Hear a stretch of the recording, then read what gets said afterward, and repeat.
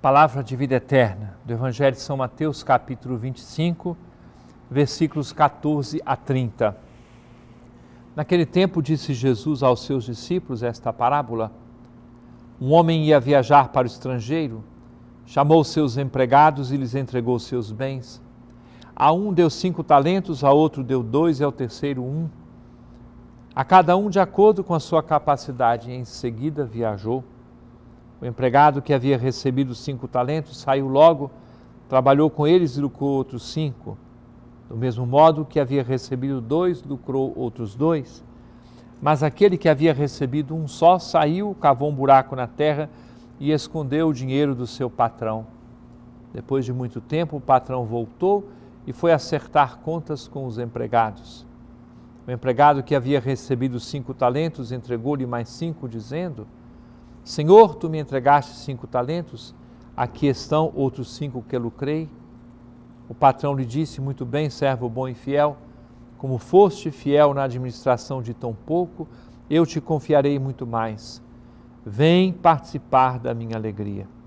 Chegou também o que havia recebido dois talentos e disse: Senhor, tu me entregaste dois talentos, aqui estão mais dois que lucrei. O patrão lhe disse: Muito bem, servo bom e fiel como foste fiel na administração de tão pouco, eu te confiarei muito mais. Vem participar da minha alegria.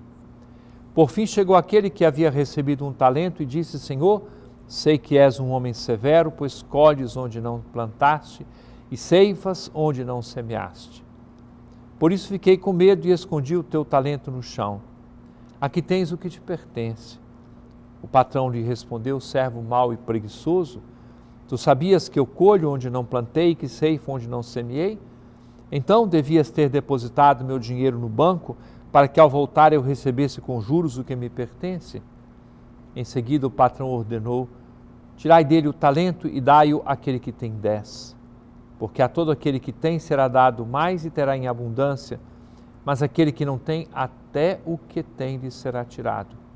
Quanto a esse servo inútil, jogai-o lá fora na escuridão ali haverá choro e ranger de dentes. Caríssimo irmão, caríssima irmã, quem não recebeu algum talento de Deus? Se porventura pensarmos injusta a reflexão de nosso Senhor, é bom tomar consciência de que Deus não deixou quem quer que seja nesta vida desprovido de dons aquilo que eu posso frutificar, aquilo que corresponde à minha capacidade, às minhas resistências, à minha criatividade, tenha eu a certeza de que esses dons estão dentro do meu coração e que a graça de Deus faça a sua parte para que tudo frutifique. Viver a parábola dos talentos é ter uma grande responsabilidade que é fruto da gratidão Gratidão pelos dons imensos que nosso Senhor pôs à nossa disposição. É palavra de vida eterna.